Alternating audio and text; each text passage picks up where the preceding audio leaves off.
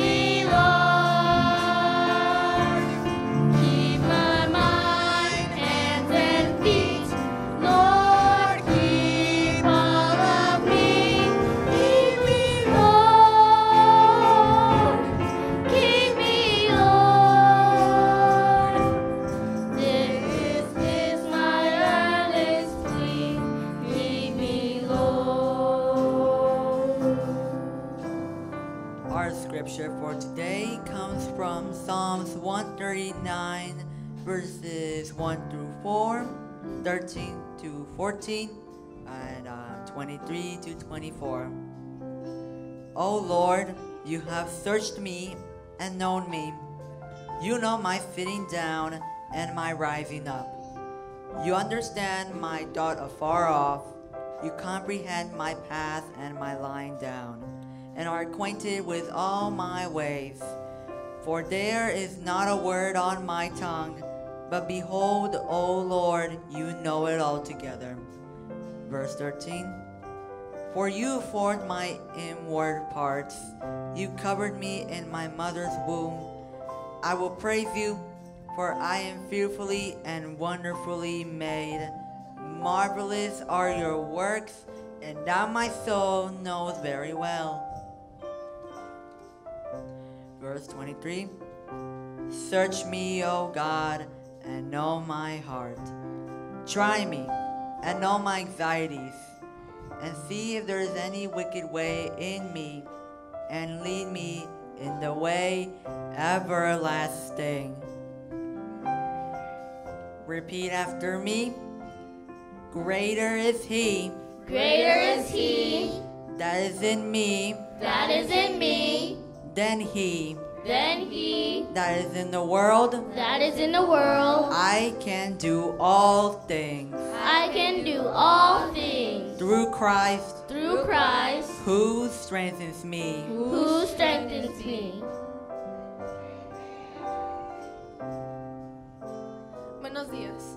La escritura de hoy viene de Salmo 139, versículos 1 a 4, 13 a 14 y 23 a 24. Versículo 1. Señor, tú me examinas, tú me conoces, sabes cuando me siento y cuando me levanto. Aún a la distancia me lees el pensamiento. Mis trajines y descansos los conoces. Todos mis caminos te son familiares. No me llega aún la palabra a la lengua, cuando tú, Señor, ya la sabes toda. Versículo 13. Tú creaste mis entrañas, me formaste en el vientre de mi madre. Te alabo porque soy una creación admirable. Tus obras son maravillosas y esto lo sé muy bien. 23. Examíname, oh Dios, y sondea mi corazón. Ponme a prueba y sondea mis pensamientos. Fíjate si, si voy por mal camino y guíame por el camino eterno. Repitan después de mí. Porque Él Porque Él que está en ustedes Que está en ustedes es más poderoso es más poderoso que el que está en el mundo. que el que está en el mundo. Todo lo puedo Todo lo puedo en Cristo en en Cristo que me fortalece. que me fortalece. Your heads and bow your heads and close your eyes. Lord, we thank you for this day. Thank you for everything you've done for us. Thank you for food, shelter, water. Thank you for waking us up this morning and letting us be here right now, Lord. Lord, thank you for letting us to come to the church to worship you, Lord. Lord, we just thank you for everything you've done for our lives, Lord. Lord, thank you for giving us second chance after chance, Lord. We just thank you for everything that you've done in our lives to help us succeed, Lord. We just thank you and praise you. Jesus' I pray. Amen.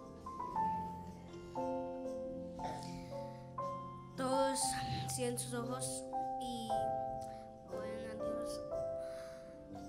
Gracias por el agua, todo el aire y, la comida que nos has dado.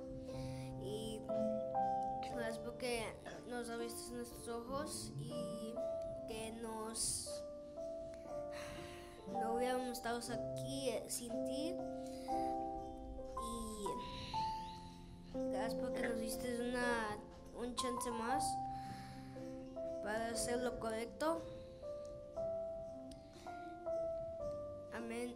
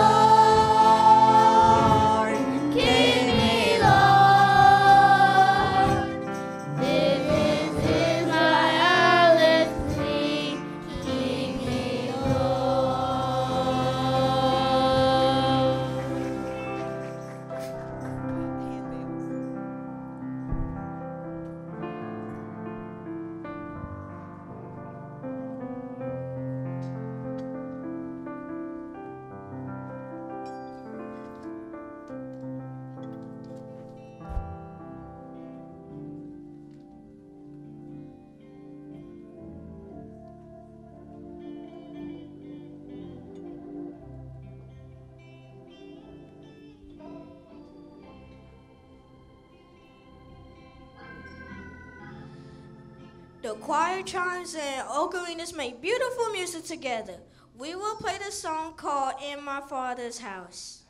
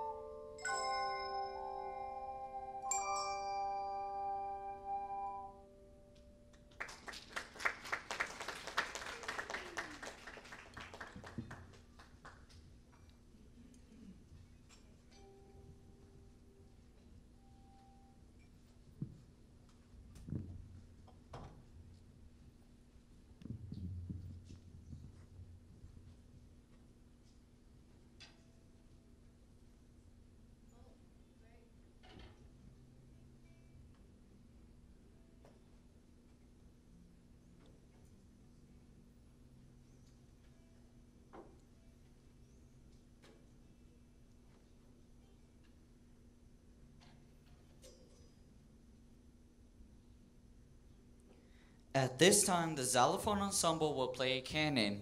Cannons are like the children's game Follow the Leader, where the leader makes a move and the follower imitates what the leader does. See if you can hear the canon melody in the selection called Canon number 44.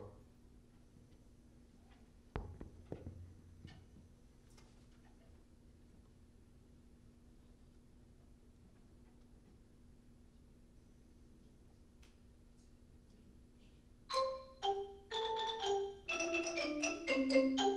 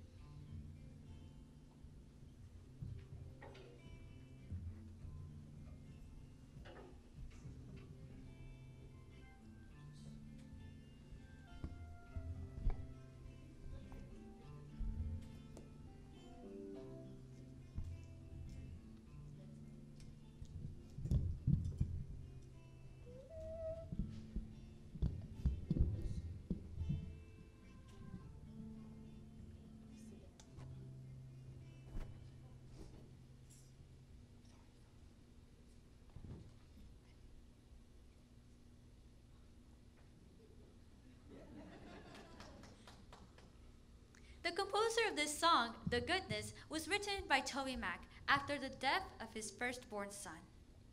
Toby Mac realized that regardless of what you go through in life, God is still good.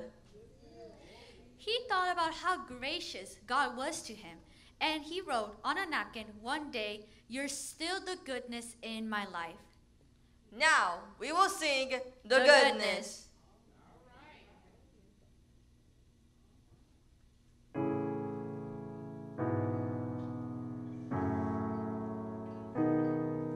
Made the rain, so when it falls on me, should I complain? Or will you call me and tell me to stay?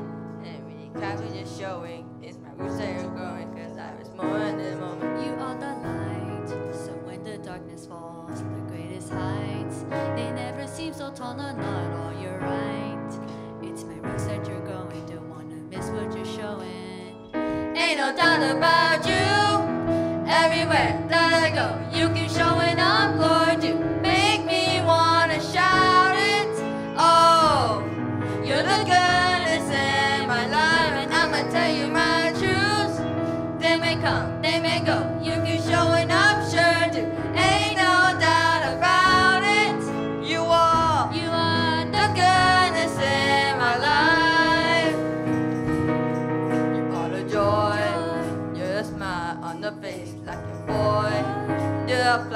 the park in Detroit. So the words in the back of our coin. Let's make some noise.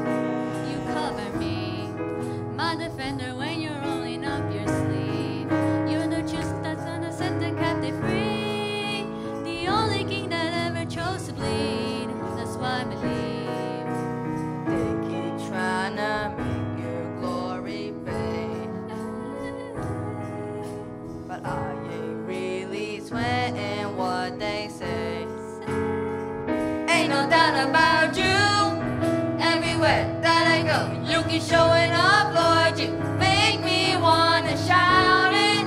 Oh, you're the goodness in my life, and I'ma tell you my truth. They may come, they may go. You keep showing up, sure do. Ain't no doubt about it. You are, You are the goodness in my life. Through the good, the bad, the ugly, I can still feel the sunshine above me. Oh, I love the way that you love me. You're the good, you're the good, you're the goodness. Through the good and the bad and the ugly, I can still feel the sunshine above me. Lord, I love all the ways that you love me.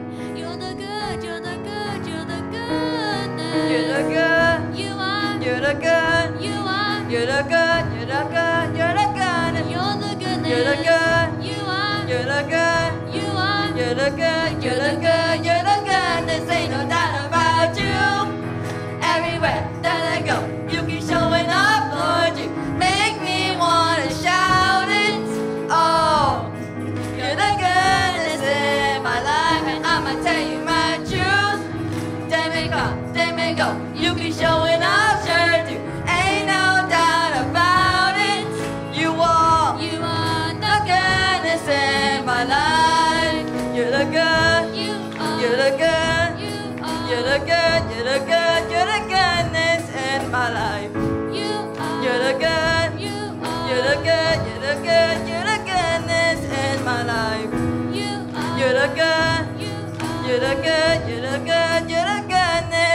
my life. you are, you are still the the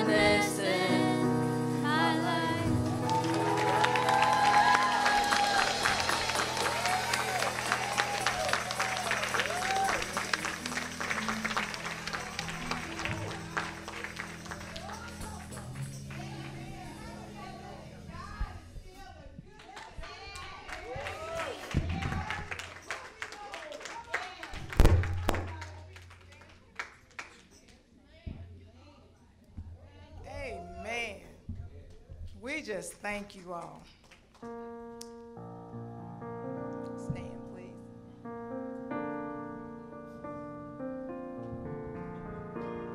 Uh-uh.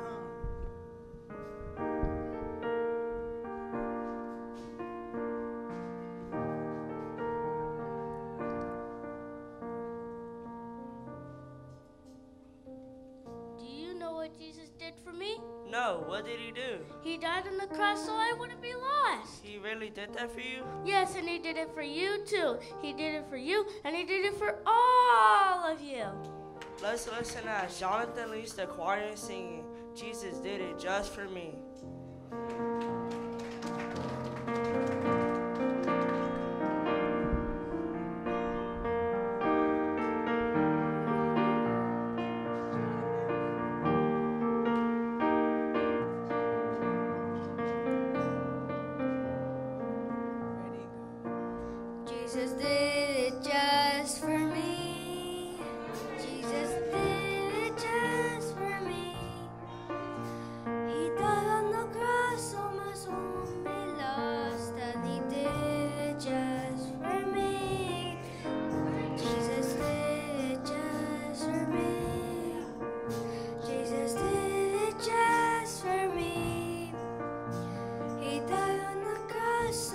Jesus.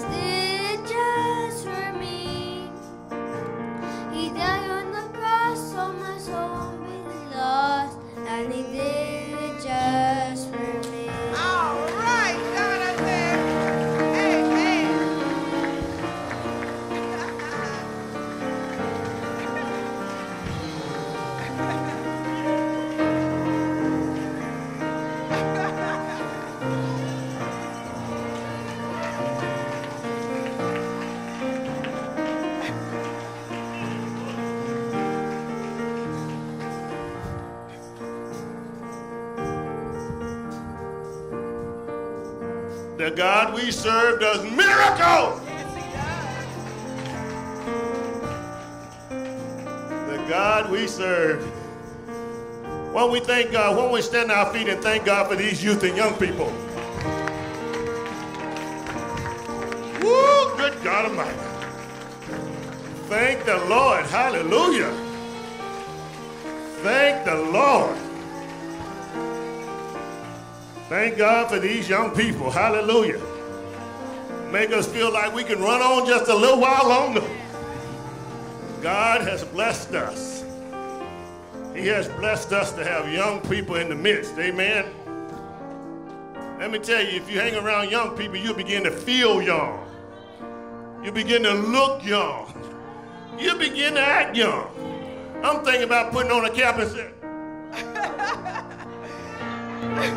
I'm gonna put on me a hat and say, You are good, you are good. Hallelujah. Thank you, young people, for blessing us today. Everybody all over this room is in great appreciation of what you're letting God use you to do. Amen. We serve the awesome and the amazing God. While you're still on your feet, look, let me ask you to turn your attention to 1 Corinthians chapter 10. 1 Corinthians chapter 10, verses 12 and 13. I'm telling we serve the amazing God. Hallelujah. Jonathan, bring your mama back in. Tell us time to stop crying. It's time to go to church now. Jonathan, bring your mama on back in here. Tell her stop that crying and come on back in. It's time, it's time for church now.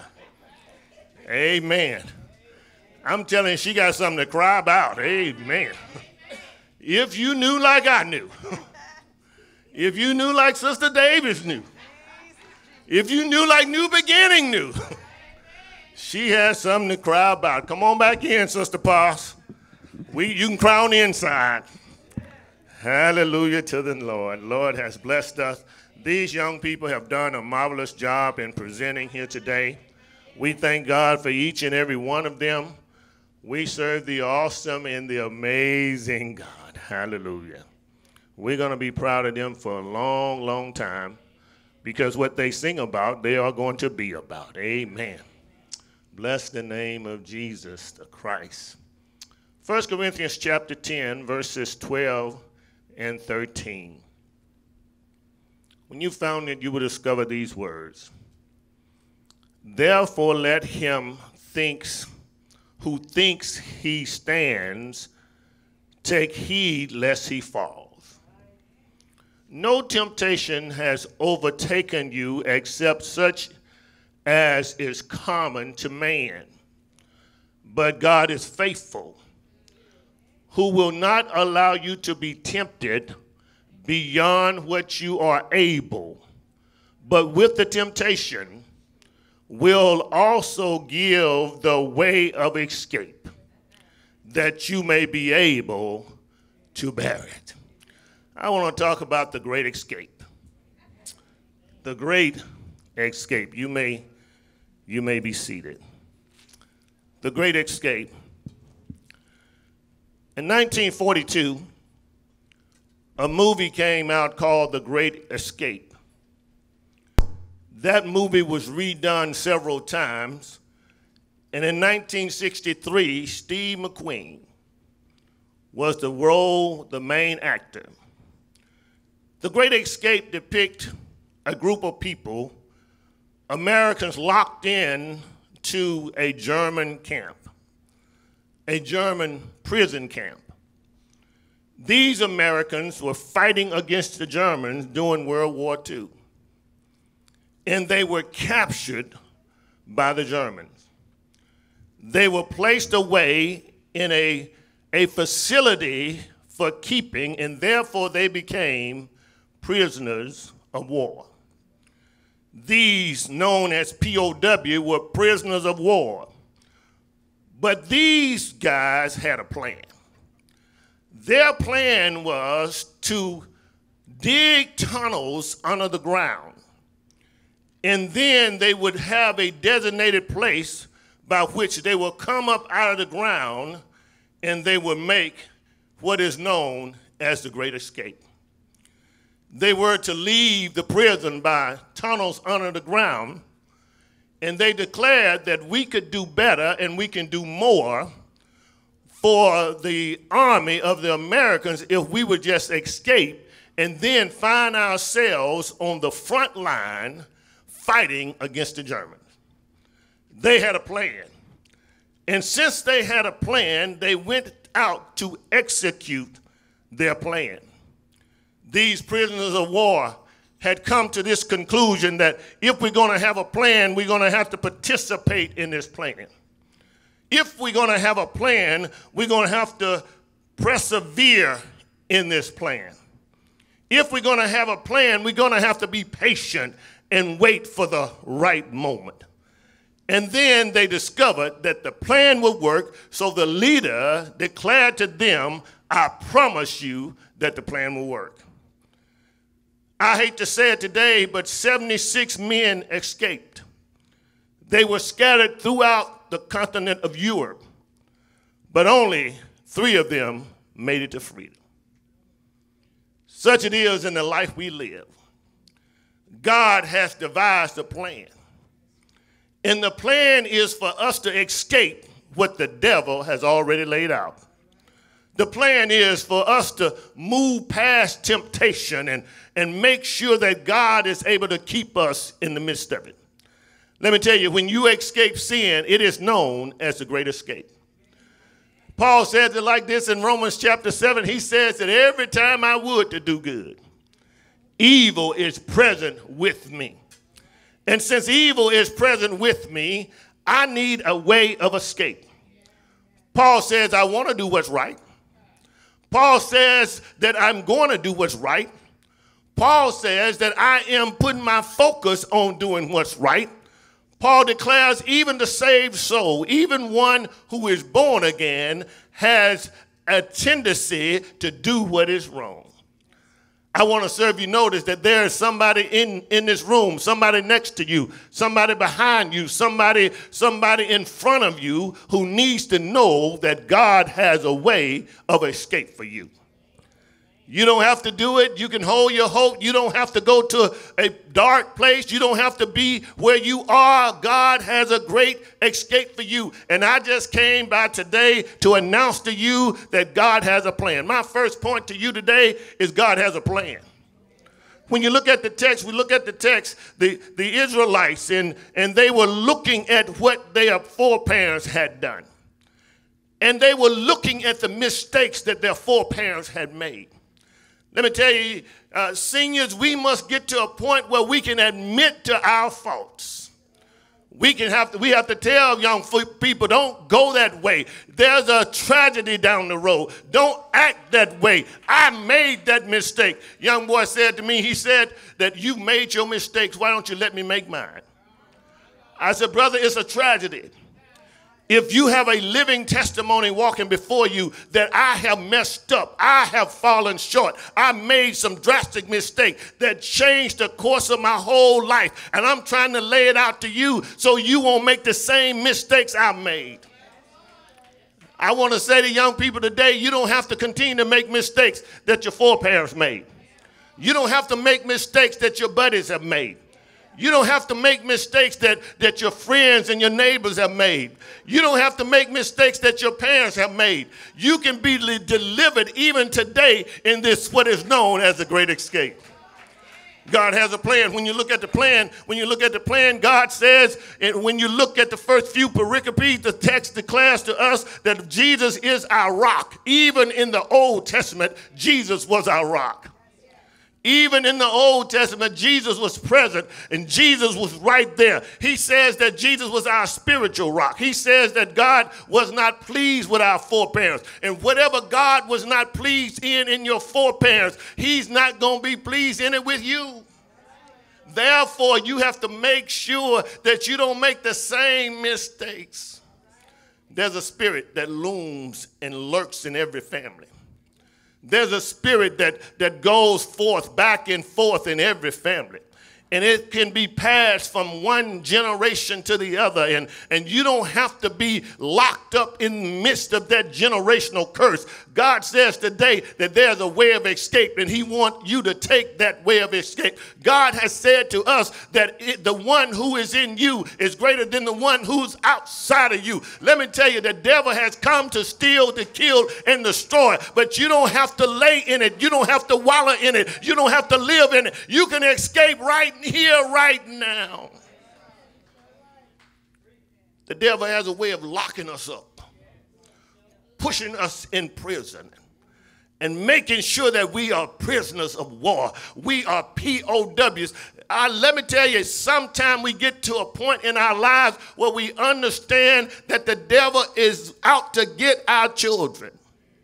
But we have to lift our hearts for them, lift our voices for them, pray unto God for them, and tell the devil, You can't have mine. You, you need to understand that I walk and live by the blood of Jesus. And Jesus Christ Himself is the one who is the one who will rescue us. He is the great emancipator. He will free us from all that we've caught up in. Don't get upset that you're caught in some stuff. Don't, don't, don't be too bothered by the things you caught up in. Don't, don't, don't act like God has forgotten you. Don't act like God doesn't have a plan for you.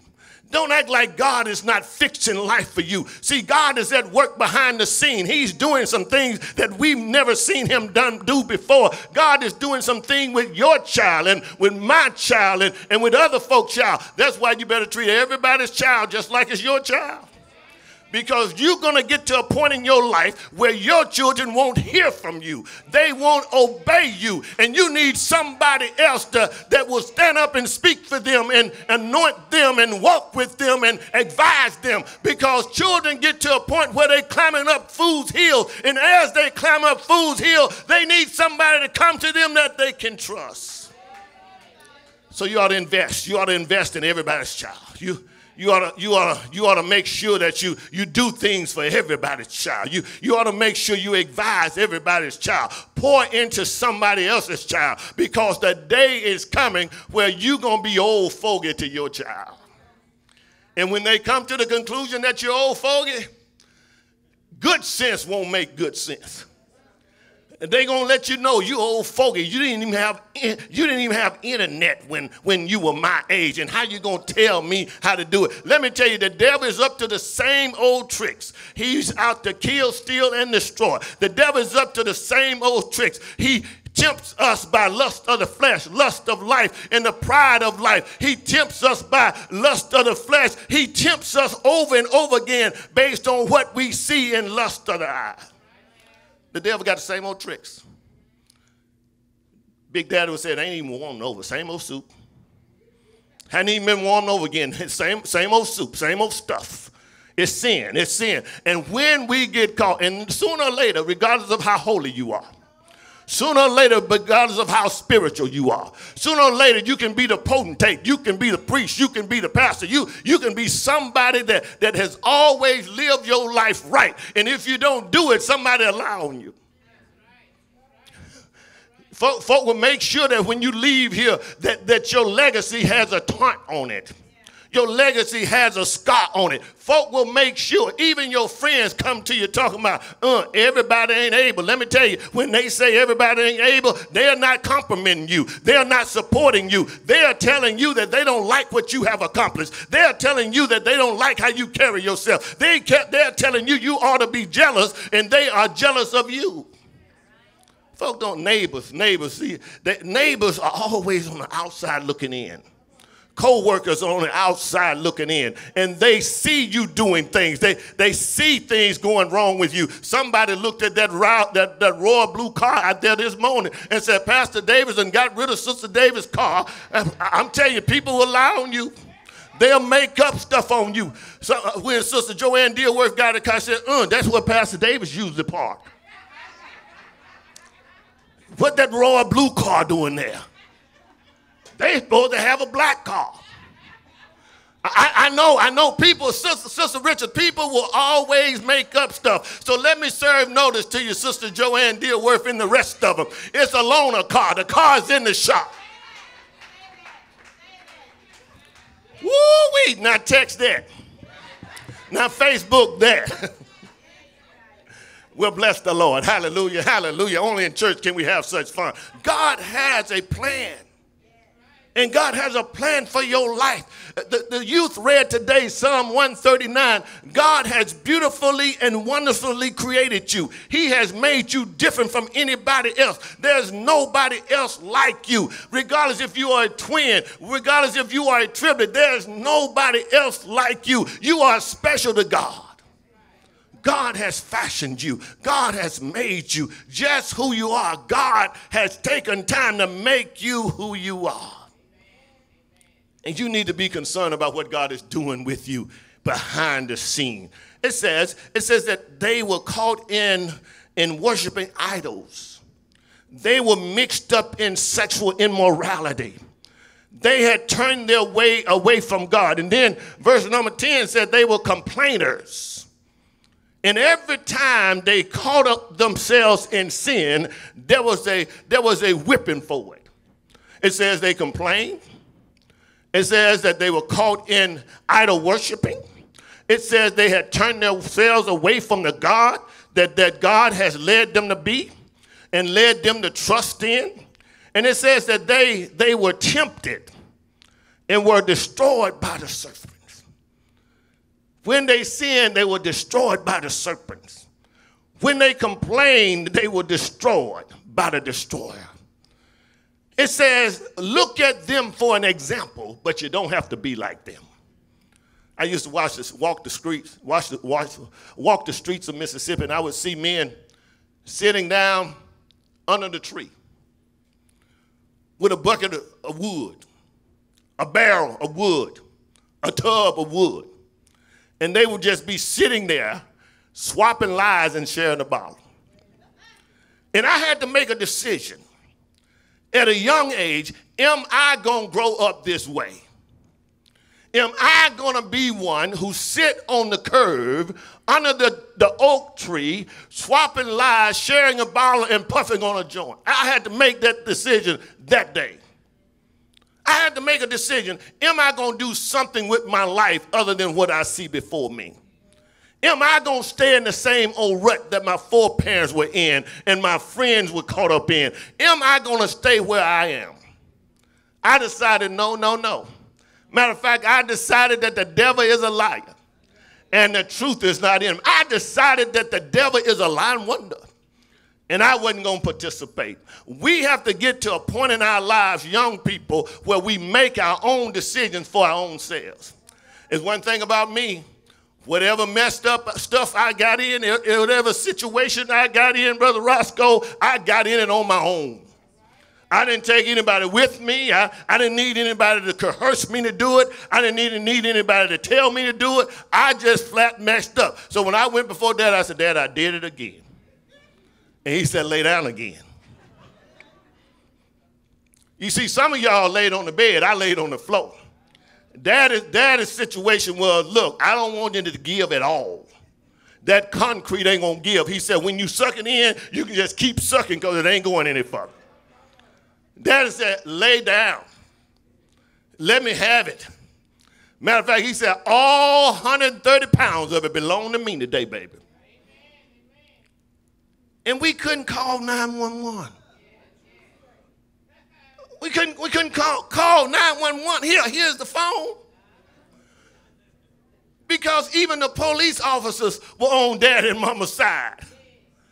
We have to get to a point where we understand God has a plan for our lives. Regardless of what you're going through, regardless of what your background look out look like, regardless of what color you are, regardless of what race you are, regardless of how much money you have or don't have, God has a plan for your life. You have to make sure that you understand the plan. The text, the text of class said, said therefore, if you think you are more than what you think you are. It says, it says, therefore, let him who thinks he stands take heed lest he falls.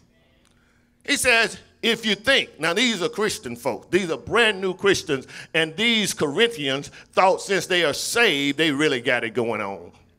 These Corinthians are just like NBCians.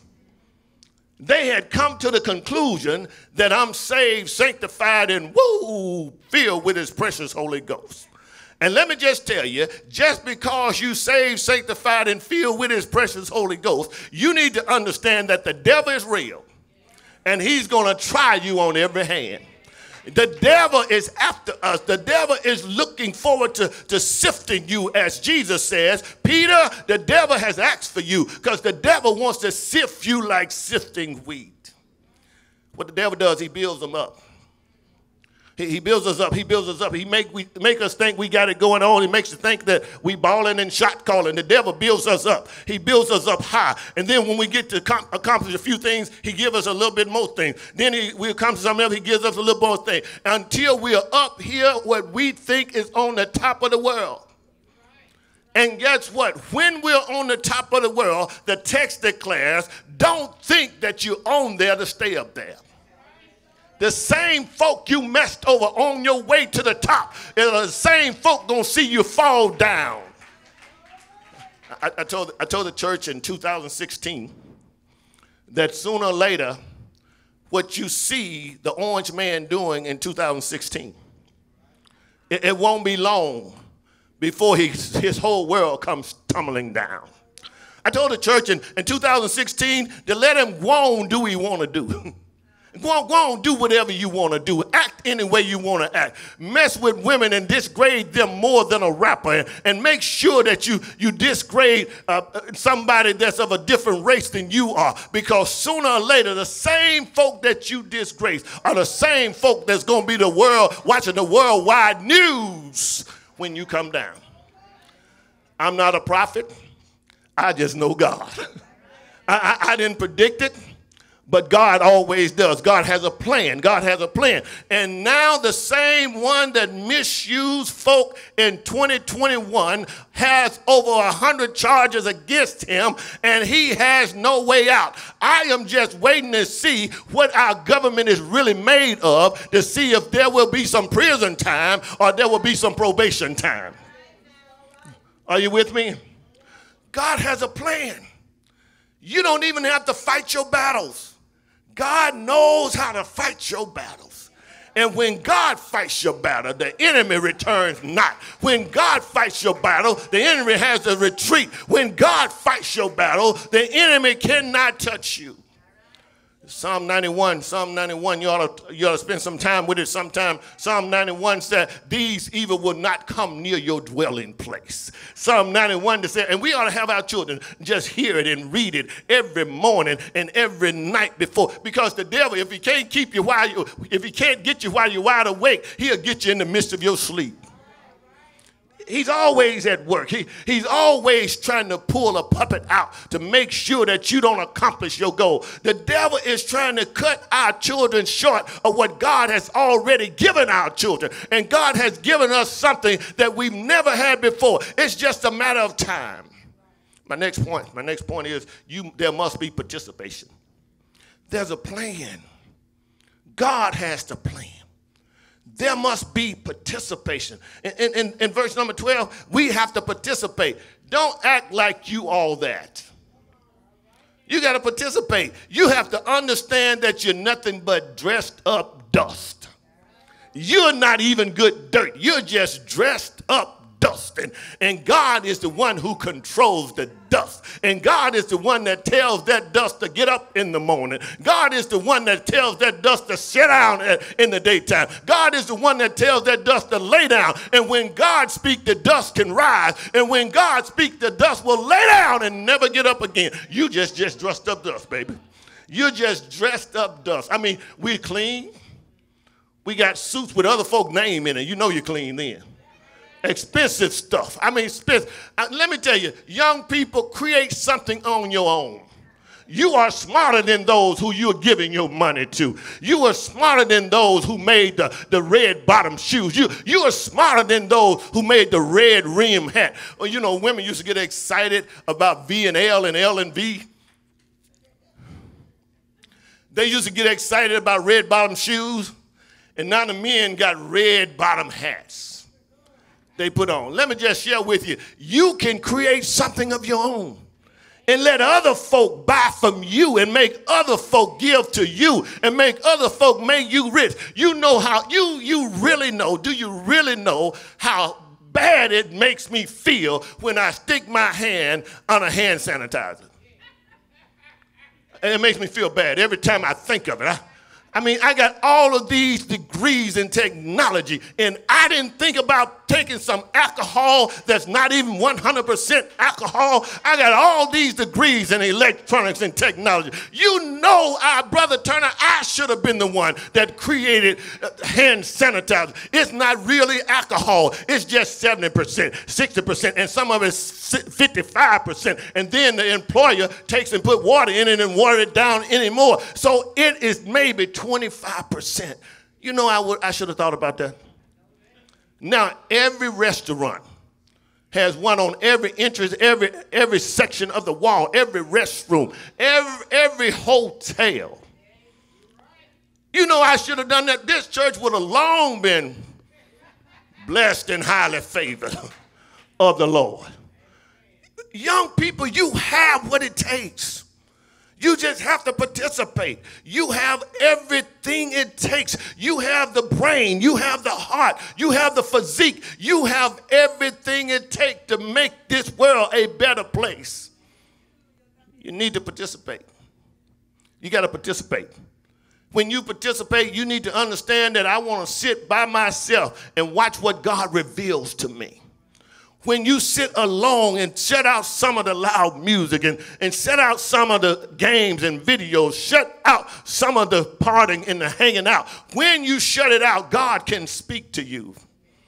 You know, I should have sat down and let God say, create some alcohol that will turn into hand sanitizer. It's already alcohol. Just make the liquid a gel, and then folk will sell it and buy it.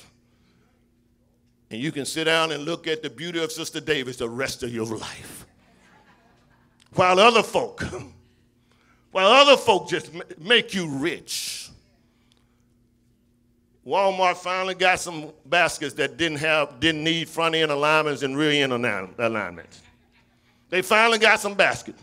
I've gone to three locations and they got brand new baskets now and there's no string rolled up in the, in the wheels right now. They got some brand new basket. Now, Walmart heard me on the broadcast and they took advantage of my vision that they will get some brand new baskets. And now, all over the world, Walmart's getting brand new baskets. All you have to do is think. All you have to do is get motivated. Participate in the plan that God has placed before you. Machines are made to make life easy. The reason why we have rollers on these xylophones is because children don't have to pick them up, they can just roll them. The reason why, reason why we have drumsticks is because we don't have to beat drums, all the drums with our hands. The reason, reason why we have keys on the keyboard is because we discovered, somebody discovered that it will make a noise. And the reason why we got trash cans and Home Depot buckets, because we discovered that anywhere you hit that bucket, it makes a different sound and it is a musical sound. Somebody came up with the idea. While we just shucking and jiving, just living life, just good to be here. Don't let life pass you by participate in it. If you've been waiting to get your education, the time is now. Because the HISD superintendent is telling you, every day we're going to shut y'all down. The HISD superintendent is telling us every day, he's telling us every day, this is my world. I'm going to play with it my, like my own little toy. And he doesn't care what you do. Now, here it is people who who want who don't want their children in public school, they usually pay money for their children to go to private school. But we have a governor and we have a superintendent that has come to the conclusion, I tell you what we going to do. we going to pay people to put their children in public school and the other folk and take them out of public school and put them in private school and they can keep all the money. So the rich gets richer and the poor gets poorer. But let me tell you, God is not sleep. Sooner or later, somebody gonna get a notion to roll that wheelchair right into the Gulf of Mexico. Oh, I'm sorry, I didn't I didn't supposed to say that. Um, I'm the preacher, right? That's that temptation coming in again. and God gonna give me a way of escape. He, he gonna tell me, don't ever say that again. But you have to understand that God is in control. God has a plan. God is not sleep. You don't have to worry about them running us like cattle. God is still on the throne. We just need to participate in God's plan. There must be participation. Get your degree because nobody can take it from you. Get your attitude straight because God can bless you through it. Don't hate on your haters and don't worry about the haters hating on you. You need to brush the haters off, get focused, and get real about where God is taking you. A man who have no control over his or her own spirit is like a city whose walls are torn down. Let me tell you, get control of yourself. Don't let every little thing excite you. Don't let pictures on, on Facebook and any social media make you want to be like anybody else. God has made you just like He made you for a reason of changing the whole world. You are special to God. God is still good. God is still walking with us. God is still blessing us, even at a young age. One of the most terrible things I can hear a news reporter and a judge say is, look at her, she's so pretty. So that suggests that if they wasn't pretty to you, then you will have a different judgment on them. Let me just tell every child in the room, you are still pretty. It doesn't matter what folks say about you. It doesn't matter. Don't don't give up stuff because you're pretty. Just walk and talk, act like you're pretty. Don't act. Don't let folk tell you that you're pretty and do any and everything to you. Don't let folk tell you that you're handsome and they love your bow legs and you then you go and do something crazy. Make sure you stay focused and have control of your own mind, your own body. That's how you get what you want to get. Because if you get rich quick you're going to get broke quick. If, if you get in a get rich quick scheme, then God is not going to be able to use you in that scheme. And the Bible says in Romans chapter 1 that God has the power to take his hand off you and turn you over to a reprobate mind. Don't let folk influence you to do anything wrong. Stay with the Lord, walk with him, be obedient, have a good attitude wake up on a bad day having a good day because God is in control. I'm telling you, God is in control. And when God is in control, whatever situation you in, God is able to change it. My first point is that God has a plan. My second point is we must participate in God's plan. My third point to you today is there must be some perseverance. There must be some perseverance. No temptation has overtaken you except such that is common to man. King James would say common to all men. What you're going through, you must persevere through it. What you're going through, you're not the only person going through it. What you're going through, many other people have gone through far more than what you're going through, and they have persevered. Persevered means to stick into it. Stay with it. Hang in there. You know how many times that, that Michael Jordan was passed over? And now we're calling him the greatest player of all time. Do you know that Simone Biles had to take medication in order to calm herself down, and now she's the greatest of all time? Do you know that Michael Phelps' teacher told him that he would never learn anything and that he wasn't fit to learn anything? Now he's the greatest swimmer of all time. We have to get to a point where we hear from God and not from other people. We have to stick with those who encourage us and not those who discourage us. You know, I, I could have been I could have been been really discouraged when I went to Mississippi Delta. I went to for orientation, and when I got there, I started looking around the room. I was like, man, hmm.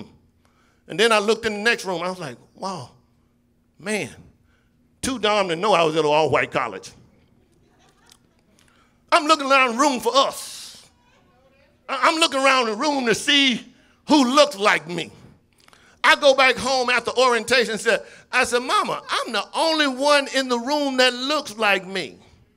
And these words, my dear, have carried me the rest of my life. She said to me, Don't worry about who's in the room. You're better than anybody in the room and you can think better than anybody in the room. And you can make it better than anybody in the room. It has carried me for life. Now I think I'm something. I mean, she put some gas in my tank. She put some juice in my heart. She said that you are better. And because mama said I was better, I have proven that I am better. Not to mention when God comes along, he makes us better.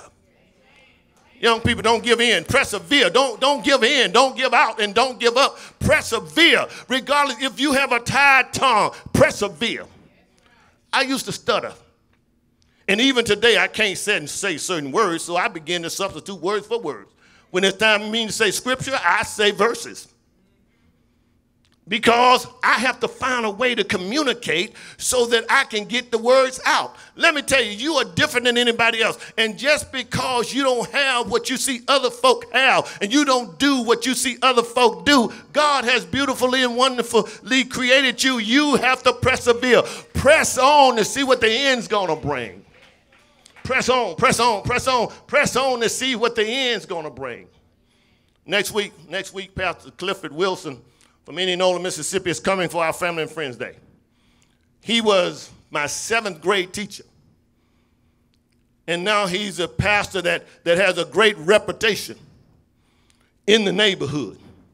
So he's coming to preach to us next week. And I said to you, you ought not go leave here and go to heaven before you hear this preacher preach. My seventh grade teacher, I've been having mama look for my seventh grade card so when he gets here, I can see what kind of grade I made in his classroom. Now, if it was good, I'm going to let him know. If it was bad, I don't think I'm going to be able to find that card. What it says to you, young people, is Pastor Davis' grades have not always been that good. Pastor Davis, Davis did not graduate in the honors.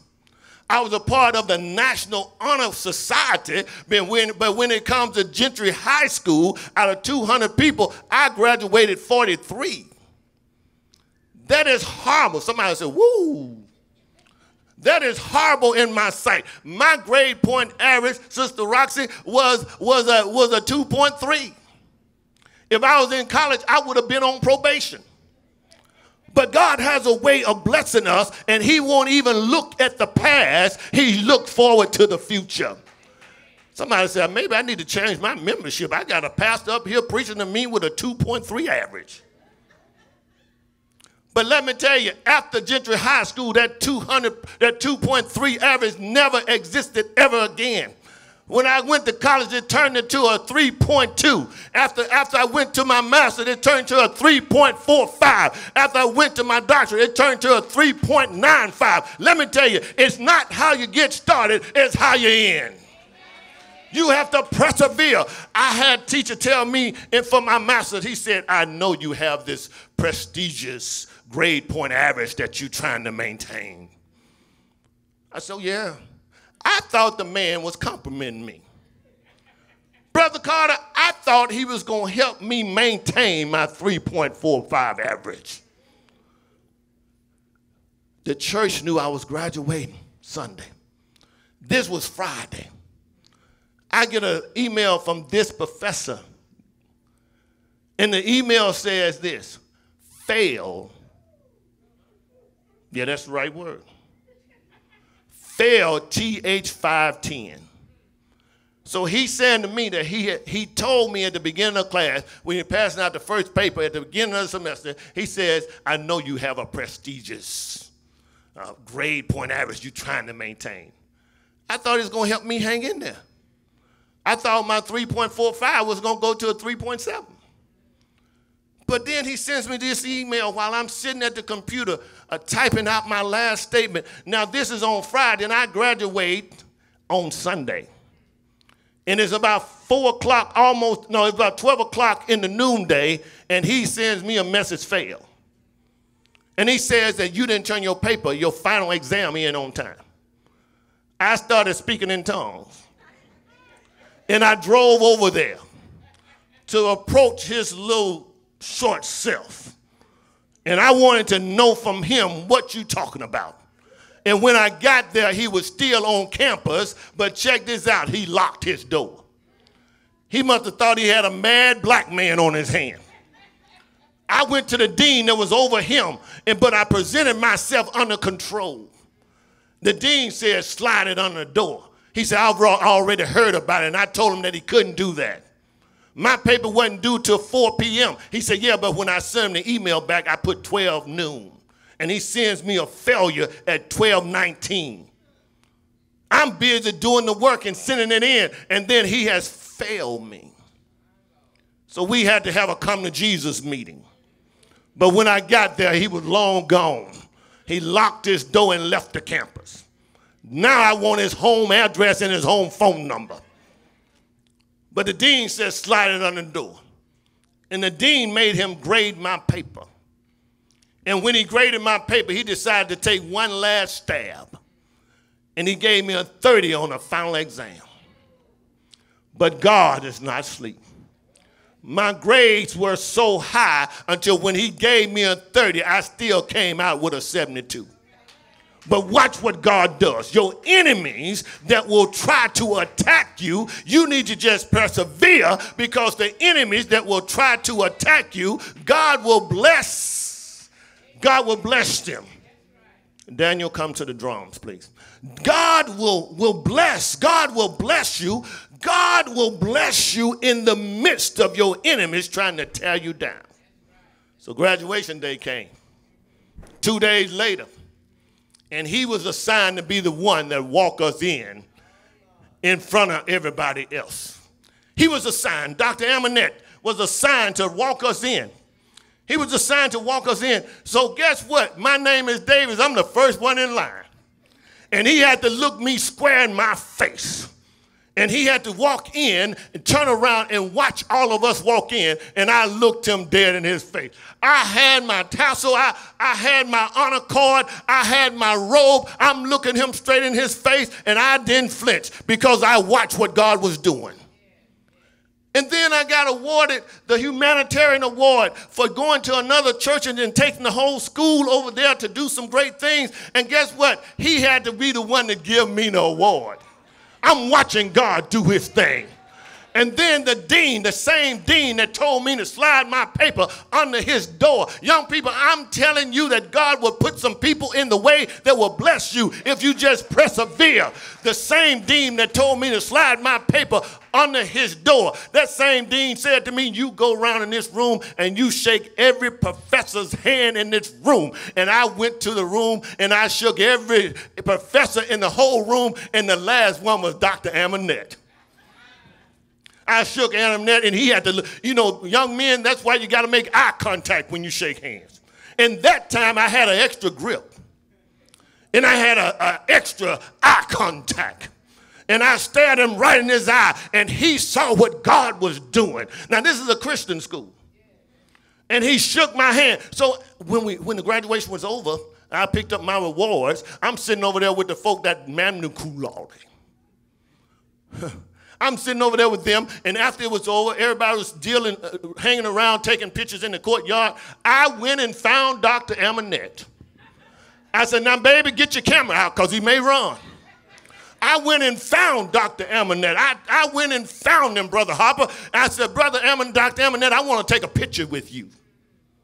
And what I had in my mind, I want to show this picture to our youth and young people and tell them how God will use a guy that will be used by the devil. God will still use him to bless you. I got a picture with Dr. Amonette, and he's shaking my hand and giving me that fake smile but I was cheesing all day long. I, I was so glad. I was so glad that Dr. Amonette showed up that day. And God will show people in the midst of what you're going through, God will bless you and show out in front of them. The psalmist says that God will, will make a table. He, God will set a banquet. God will do some things in the presence of your enemies and make your enemies say, Ooh, we look at God. There's no temptation. So, so uh, you got God has a plan. You got to participate. You have to persevere. The four things you got to be patient. Got to be patient. Let God, let God, let God move. Let God do it. Don't go. If I had a gone in that school like a Bronco bull, they would have kicked me out and called the police and said we got a, a guy that's suspicious. We don't know who he is on campus. But when you have a dispute, Number one, you dress up and brush your teeth. Goggle your mouthwash. So if they want to get close to you, they can smell fresh breath. Get well dressed. Don't act like a thug. Walk in like you're a brother. Hold your head up. Look at them dead in their eye and watch what God does. You have to be patient with some of this stuff because if you're patient with it, God is at work behind the scene. The Bible says there is no temptation overtaking you except such that is prevalent, that is common to other folk. You're not the only one going through who you what you're going through. I'm not the only one that Dr. Amonette tried to tried to flunk the last day. But the next semester, the next semester, Brother Miles, I'm talking about God doesn't take long. The God doesn't take long. The next semester, the president walks in Amonette's office, whispers in his ear, tell him to go down to his office. The president fires him on the spot for something that he had done wrong, and the president had to teach the class himself. Let me tell you, God has a way of blessing you. You just got to be patient.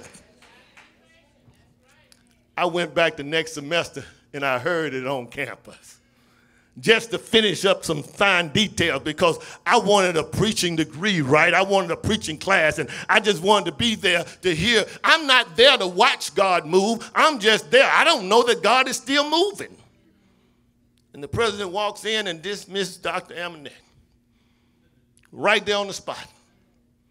President carried on the class. Now Dr. Amonette is gone. He never has the opportunity to abuse another student.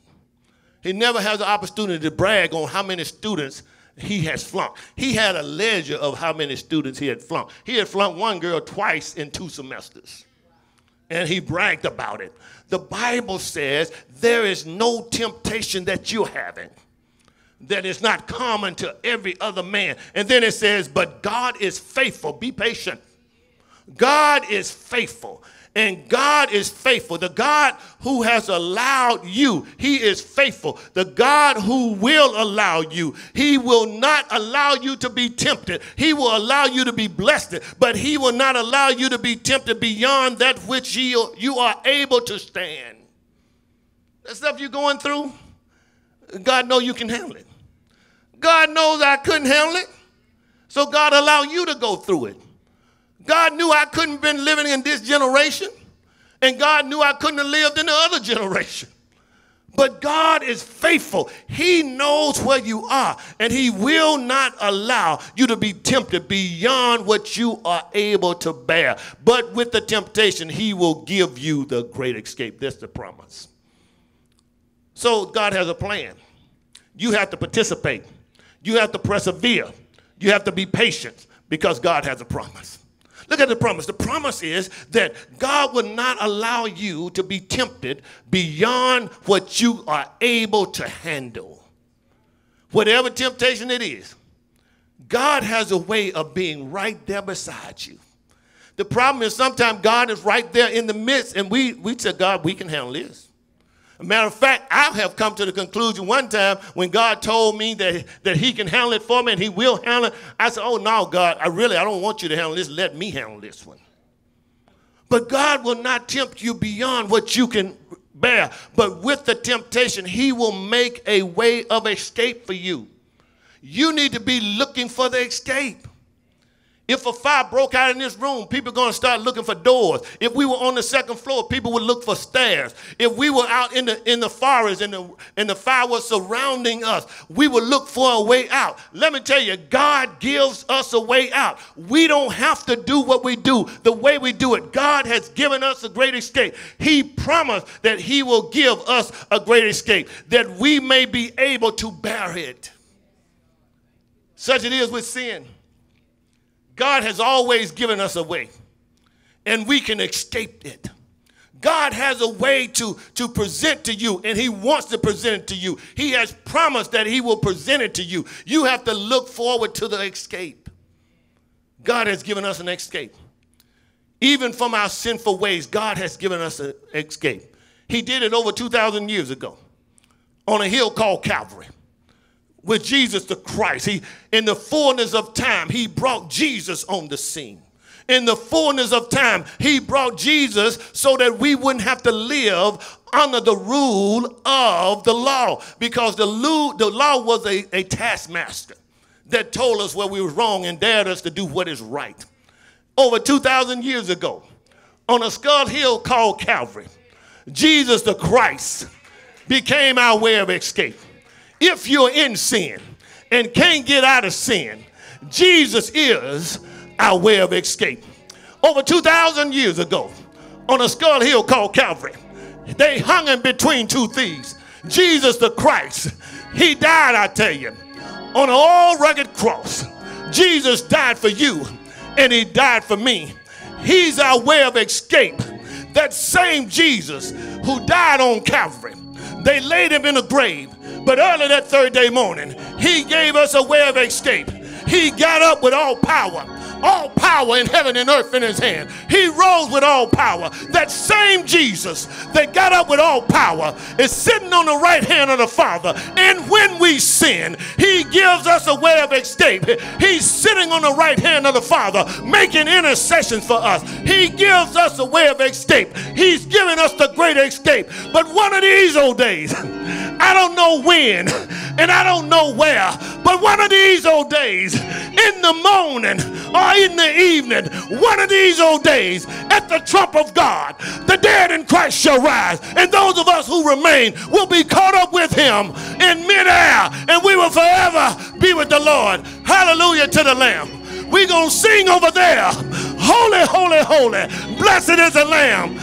Blessed is the Lamb that was slain before the foundation of the world. Hallelujah. We praise you, Lord. Hallelujah. We honor you, Lord. Thank you, God, for who you are, for what you do. Hallelujah. It is a great escape, I tell you. One of these old days, when there will be weeping and gnashing of teeth, folk will be going their way to hell. But one of these old days, in the morning, I'm going over yonder around the throne of God. I'm going to join the four beastly creatures. I'm going to join the 24 elders crying, Holy, holy, holy. Blessed is the Lamb that was slain before the foundation of the world. You think we have church down here? When we get over yonder, we going to really show enough have some church. When we get over yonder, Jesus will light up the city. There will be streets paved with gold. There will be jasper wall. When we get over yonder, it is a place of no more. No more crying. No more dying. No more backbiting. No more suffering. Hallelujah to the Lamb. We thank God. If you want to go with me, I'm getting a, a flight out of here. And if you want to get on my flight, you're going to have to be with Jesus. You must be born again. You have to be born again. You have to know him for yourself. It is individually that we need to get to know Jesus. The door of the church is open. The invitation is extended. You ought to try Jesus. Jesus the Christ. He is the one who makes a way out of no way. He gives us the great escape. We're going to escape this polluted world life, life evermore. And I want to tell you, I'm on my way. The devil should have killed me while he had me. But it's too late now. I know Jesus. In the departing of my sin, I hear the Holy Spirit, and He walks with me. He talks with me, and He tells me I'm His own. The Holy Spirit is my GPS. He's my global positioning system. And He directs me at the right place, at the right time, around the right people. God is trying to open the door for us. And when He opens the door, you need to step in the door. You need to be born again. You need to know Him in the parting of your sin. If you're not saved, if you're not sure that you're going to heaven, if Jesus would come right now, you need to confess Christ as your Savior, believing that He's the Son of God, believing that He died for your sins, believing that you, He rose from the dead. That's that little simple story will make a difference Will you trust him today? If you've not received him, bow your head with me and invite him into your heart. Just say, Lord Jesus, I believe that you are the Son of God. I believe that you died for my sins. I believe that you rose from the dead. Now come into my life and make me a new person. Thank you for saving my soul. In Jesus' name I pray. Amen and thank God. If you're here today and you struggle with sin like I do, every time I would to do good, sin is present with me. And the devil is trying the same old tricks. He just coloring it a different way. I want to pray for us that we will walk with Jesus. Father God, we come now submitting ourselves to you. We believe that you are the Son. We believe that you are the Holy Spirit. We believe that you are the Father. Now, Lord, we need you. We need you to operate in your plan. We need you, Father God, that we can participate in your plan. We need you in order for us to persevere in your plan. We need you, Lord, to keep us patient. We need you to bless us to trust you. And Lord, we thank you for your promise that you will be with us. Now bless us today, Father, that we will stay focused on you, that we will walk in you, that we will tell others about you, and that we will be blessed by you. Lord, whenever the devil tries to use us, we ask you to give us a way of escape for you have promised it to us. Lord, bless our youth and our young people. We thank you for their gifts. We ask you to bless them to use their gifts to glorify you. In Jesus' name we pray. Amen and thank God.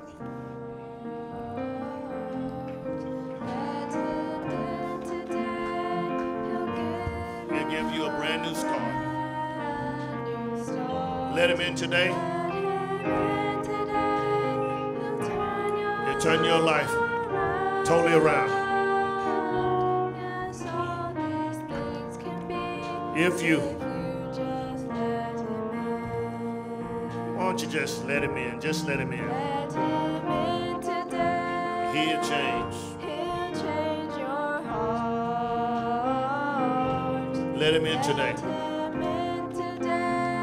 He'll give you. Let him in today.